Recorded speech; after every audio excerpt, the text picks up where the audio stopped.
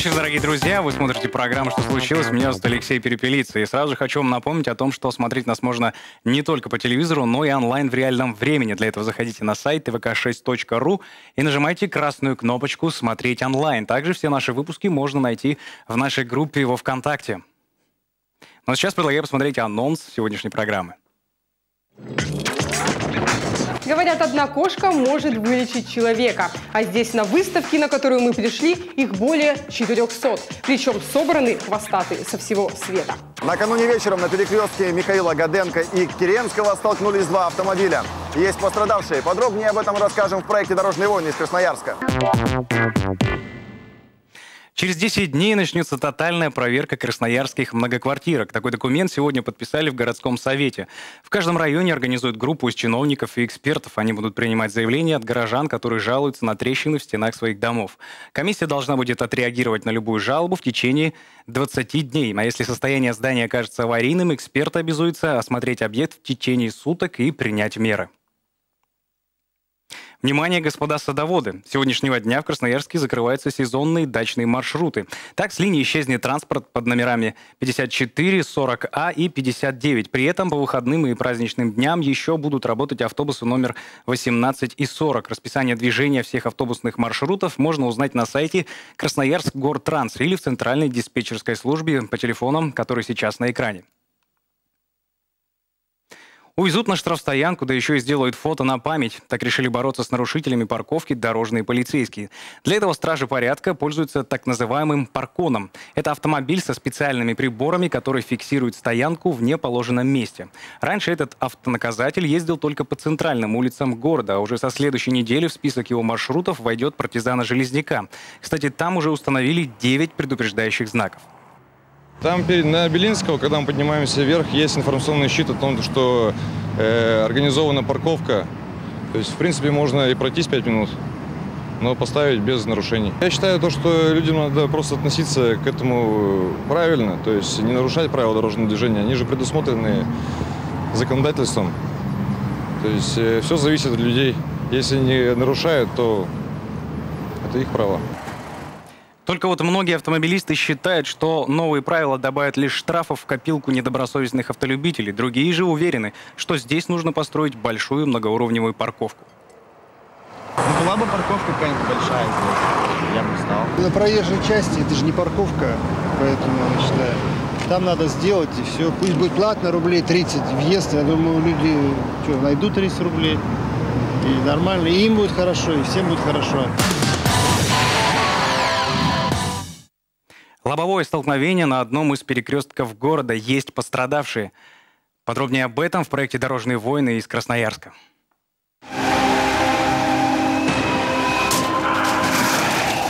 Накануне вечером на перекрестке Киренского и Михаила Гаденко произошла серьезная авария. Там столкнулись Лада Калина и Volkswagen Golf. Авария попала в объектив камеры наружного наблюдения. Иномарка ехала по Киренского со стороны улицы Новосибирской, когда на перекрестке столкнулась с Калиной, двигавшейся во встречном направлении. На кадрах видно, как от сильнейшего удара Гольф буквально подбрасывает над проезжей частью.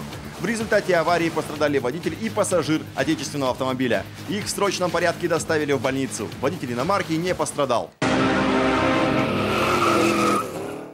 Вы из торгового комплекса «Плаза». Здесь зачастую происходят подобного рода аварии. И чужой опыт автолюбителей не учат. Выезжая с привлекающей территории, машины практически вслепую совершают левый поворот. Результат ДТП.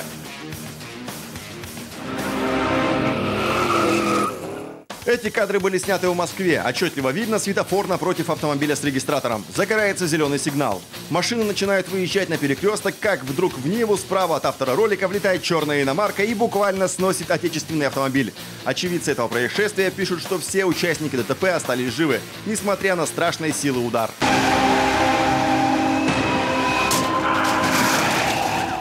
Еще не достроили, а погулять уже можно, правда, виртуально. Теперь горожане могут совершить экскурсии по четвертому автодорожному мосту через Енисей с помощью 3D-тура. Для этого нужно просто зайти на сайт Управления автомобильных дорог по Красноярскому краю крудор.ру и выбрать нужный пункт. Оценить стройку важнейшей переправы города можно и с помощью онлайн-камер. Пушкин, Лермонтов или, может быть, Тургенев. Ледовые скульптуры русских классиков могут появиться в нашем городе. Все зависит от активности красноярцев. Горожанам предложили принять участие в подготовке к Новому году. Основную тему праздника уже выбрали – год литературы.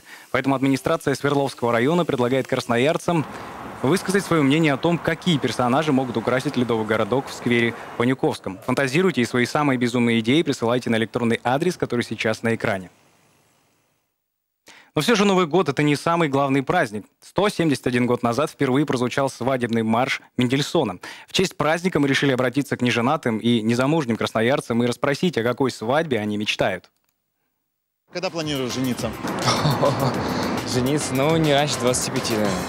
А как ты видишь свою свадьбу? Но это точно будет не в Красноярске, наверное, на каком-то острове. Все будет куда шикарно. Могу сказать только одно, что развод я отметила круче, чем свадьбу. Я занимаюсь конным спортом, поэтому обязательно в конюшне, там белое платье, там черный конь, прогулка по городу, лимузин, гости. Как даже не задумывалась об этом. Очень скромно. Эм, Просто роспись в узком семейном кругу. Грандиозно, ярко, с друзьями. Хотя сейчас, конечно, никого не удивишь свадьбой там какой-то мега там обупенной. Поездка на катере, например, там. В каком-нибудь, может, ресторане красивом. Море, небольшой круг друзей. Ну, что-то такое вот тихое, спокойное, приятное. На Мальдивах, например. За границей хорошо, дома лучше.